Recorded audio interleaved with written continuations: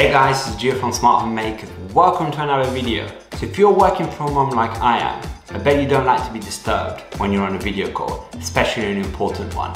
But how do you actually let your family know that you're on a call? Today I'm going to show you a cool automation that you can actually do to solve your problem and you can do this yourself.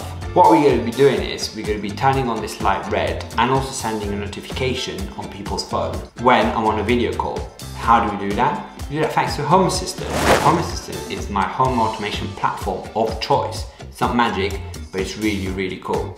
So what's Home Assistant? If you're new to Home Assistant and you want to get up and running as soon as possible, I've got a free course, link in the description below. Now there are a couple of ways of actually solving this. We could use a calendar for example, so we could look at our calendar and then assume that if we're in a meeting, then we're busy. But what happens when you're actually taking a video call that wasn't scheduled? It might be an urgent issue, it might be your boss or your manager calling you. You do not want to be disturbed at that time. So really, that's not an option for me. You can also solve this problem with a button. What happens if you actually forget to press that button just before that meeting no, that's not gonna work. That doesn't feel like home automation. The two things that we know for sure that are in use when we're in a video call are our webcam and microphone. Step one or step zero, get Home Assistant. Step two, we need to install the Home Assistant app on your Mac or on your PC. I've got a Mac here, so I'm going to the App Store and I'm searching for Home Assistant. Once I've found Home Assistant, you will download it and open it. In that way, your actual computer's webcam and microphone details will be imported into Home Assistant.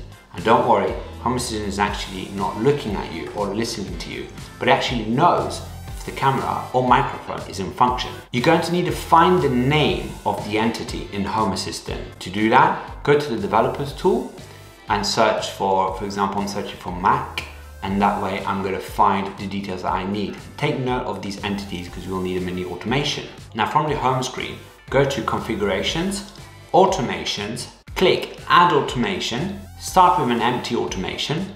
Now let's give this automation a name, for example, working from home automation or Gio's on a video call, whatever you want. Now down in the trigger, trigger type state, look for the your binary sensor, in my example, my binary sensor smart iMac camera in use. Now select from off to on. Now scroll down and go to your actions, click call service, type in light, so you'll have light.turn underscore on, and find the light that you want to turn on. In my example, I'm using this hue play. So find that, and in the service data, you can add in color underscore name, and then put red. Now you can save this and give this a go. If you're getting value out of this video and you want more people to see this video, then give this a like. If you yourself want to actually see more content like this from my own channel, then consider subscribing to the channel. Now at this stage, your light should have turned red. If so, good. Let's move on. Now we're going to add in a notification, click add action, and action type call service, and we're going to use a notify, and we're going to use in this example, my iMac just to, for the purpose of the video, but you can use any smartphone that has Home Assistant installed on it. Put a message that you want to appear in the notification, for example here, and just save that and execute it. And boom, there you have it. We've got the notification. We're all good, but we're not done yet. So now we're gonna add another trigger. So add trigger, and we're gonna add in the microphone. Search again for Mac and you're to find that microphone. Click on that microphone. Once we've selected it, we're to go into the from and we're to set off and we're to set the to to on and we're to save that. Now we want to visually see if we are working or not. So if someone's missed a notification, they can go back to Home Assistant dashboard and actually find out if I'm busy or not. How do we do that? Go into the configuration tab and let's look for the helpers. Click add helper, click toggle, give your helper a name, for example, working from home. You can add that little briefcase icon, but this is optional.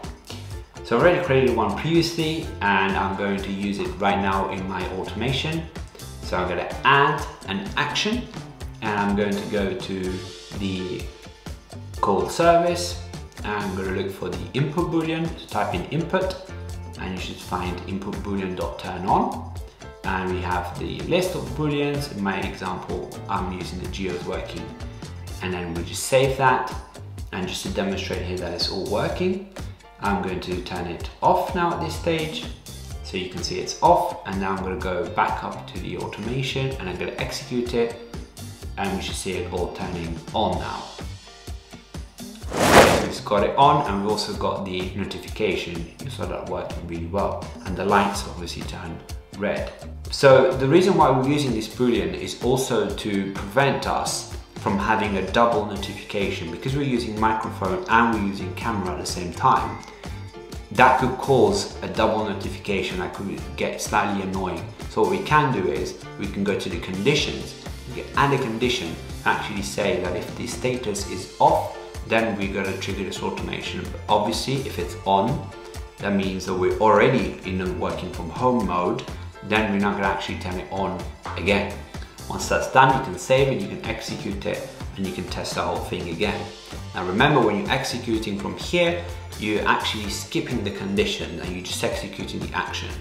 So now I'm gonna show a nice movie image of myself here, and you can see nothing's happening, no notification, nothing. I've got my camera, I've got my microphone, obviously I muted it for the video, but nothing's coming through.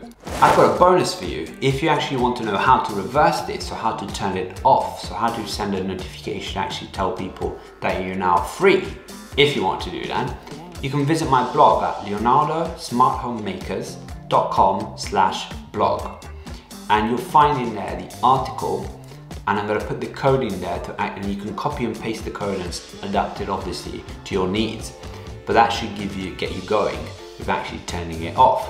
Future enhancements, you can actually add working hours in here or your working schedule. So this actually only works in certain time. It's really up to you how you want to actually do it. You can disable also automations at certain times if you don't want this to work at all if you feel that this does you don't need it anymore. For example, we stop working from home or other things change. So this was the first time you heard about Home Assistant and you're interested in building your own smart home with Home Assistant, then I'm actually going through rebuilding my home smart home and I'm going to do that and I'm creating a whole video course dedicated to that.